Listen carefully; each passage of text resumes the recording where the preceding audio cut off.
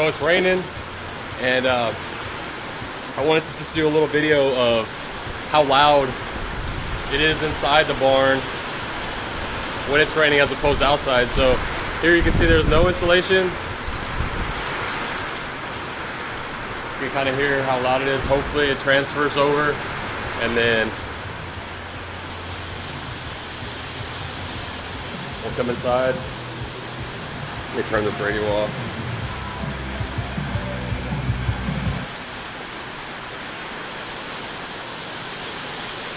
Give you an idea.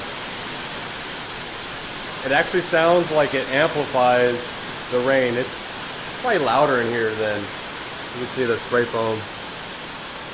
I think it might be louder. I need. I wish I had like a decibel meter because it's really loud in here. Anyways, give you an idea what to expect going with closed cell over uh, open cell. Open cell is supposed to be a little bit better for sound deadening properties. Um, upstairs on this little loft, and I'm you know, close up to the ceiling.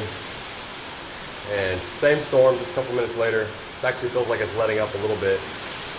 But to give you an idea how loud it is if you were to have a second story inside one of these buildings. Put it right up by the ceiling.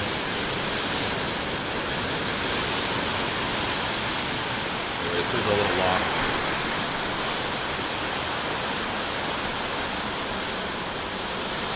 loft. close look at all the spray foam